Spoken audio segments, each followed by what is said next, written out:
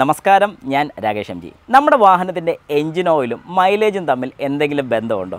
നല്ലൊരു ചോദ്യമാണ്. കാരണം കുറച്ച് പേർക്കെങ്കിലും ഈ ഒരു കാര്യത്തിൽ സംശയം വരും. കാരണം മൈലേജിന് എഞ്ചിൻ ഓയിലുമായിട്ട് ബന്ധമുണ്ടോ? നൂറ് ശതമാനം ബന്ധമുണ്ട്. ഇങ്ങനെ ഒരു ചോദ്യം ചോദിച്ചിരിക്കുന്നത് നമ്മുടെ വിഷ്ണു കെ ബി ആണ് ചോദിച്ചിരിക്കുന്നത്. ചോദ്യം ഇങ്ങനെയാണ്. എഞ്ചിൻ ഓയിൽ ആൻഡ് മൈലേജ് ഇത് തമ്മിൽ എന്തെങ്കിലും ബന്ധമുണ്ടോ? എഞ്ചിൻ ഓയിൽ കറക്റ്റ് സമയത്ത് മാറ്റിയില്ലെങ്കിൽ മൈലേജിനെ ബാധിക്കുമോ? ഒരു വീഡിയോ ചെയ്യാമോ? നൂറ് ശതമാനം. അപ്പോൾ നല്ലൊരു ചോദ്യമാണ് എഞ്ചിൻ ഓയിലും മൈലേജുമായിട്ട് ബന്ധമുണ്ടോ എന്ന് ചോദിച്ചാൽ നൂറ് ശതമാനം ബന്ധമുണ്ട്.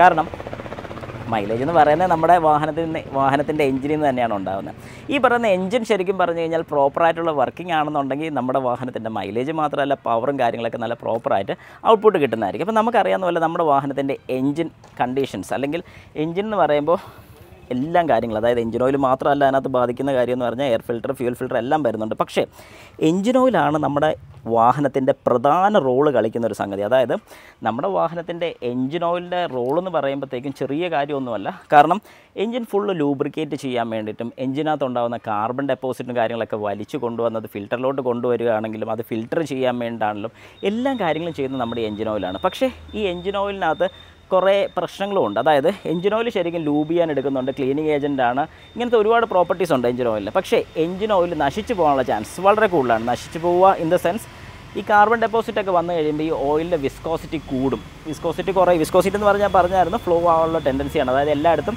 അത് സ്മൂത്തായിട്ട് ചെല്ലുക എന്നുള്ളതാണ് കട്ടി കുറഞ്ഞിരിക്കുന്ന രീതിയാണ്. അതായത് കട്ടി കൂടുന്ന സമയത്ത് വിസ്കോസിറ്റി കൂടുക എന്ന് പറയുന്നത് അതായത് ഫ്ലോ ചെയ്യാനുള്ള ടെൻഡൻസി ഇല്ല. അങ്ങനെയാണെന്നുണ്ടെങ്കിൽ ഈ കാർബൺ ഡെപ്പോസിറ്റും കാര്യങ്ങളൊക്കെ വരുന്ന സമയത്ത് ഇതിന് കട്ടി കൂടി കഴിഞ്ഞാൽ എന്താ സംഭവിക്കുന്നത് ചോദിച്ചു കഴിഞ്ഞാൽ ഓയിൽ മേളിലോട്ടും എല്ലാം ലൂബ്രിക്കേഷൻ നടക്കാതെ വരും. അങ്ങനെ ലൂബ്രിക്കേഷൻ നടക്കാതെ വരുന്ന സമയത്ത് ഇതിനകത്ത് ഒരുപാട് പ്രശ്നങ്ങളുണ്ടാകുന്നത് അതായത് വേറെ ടയർ കാര്യങ്ങളൊക്കെ ഉണ്ട്. അതായത് വാഹനത്തിന്റെ എഞ്ചിനകത്ത് തേയ്മാനം ഉണ്ടാകുന്നുണ്ട് അങ്ങനെ തേയ്മാനം ഉണ്ടാകുന്ന സമയത്ത് വാൽവിന് തേയ്മാനം വരും പിസ്റ്റൻസിന് തേയ്മാനം വരും. അങ്ങനെ ഒരുപാട് ഒരുപാട് ഒരുപാട് പ്രശ്നങ്ങൾ നമ്മുടെ മുമ്പിലോട്ട് വരും. അങ്ങനെ വരുന്ന സമയത്ത് എന്താണ് സംഭവിക്കുന്നത് ചോദിച്ചു കഴിഞ്ഞാൽ ഇതിനകത്തോട്ടുള്ള അതായത് ഈ ഓയിൽ സർക്കുലേഷൻ കുറയും. ഓയിൽ സർക്കുലേഷൻ കുറയുമ്പോൾ തേയ്മാനം ഉണ്ടാകും തേയ്മാനം ഉണ്ടാകുന്ന സമയത്ത് വാഹനത്തിനകത്ത് ആവശ്യമില്ല. അതായത് എഞ്ചിനിൽ നിന്ന് ഔട്ട്പുട്ട് വരുന്ന പവർ കൃത്യമായിട്ട് കിട്ടാതെ വരും. അങ്ങനെ സ്വാഭാവികമായിട്ടും മൈലേജ് ലോസ് ഉണ്ട്. കൂടുതൽ ഫ്യൂവൽ കത്തും പക്ഷേ കത്തുന്ന ഫ്യൂവലിന്റെ ഔട്ട്പുട്ട് നമുക്ക് കിട്ടത്തില്ല.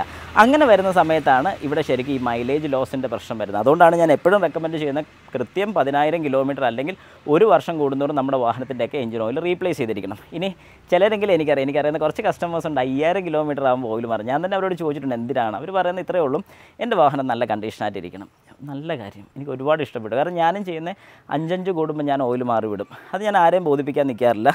വാഹനം. അതായത് സെലിറിയോയിൽ ശരിക്കും പറഞ്ഞു കഴിഞ്ഞാൽ പതിനായിരം കിലോമീറ്ററിലാണ് മാറേണ്ടത്. പക്ഷേ ഞാൻ അഞ്ചഞ്ച് കൂടുമ്പോൾ മാറും. വേറെ ഒന്നും കൊണ്ടല്ല.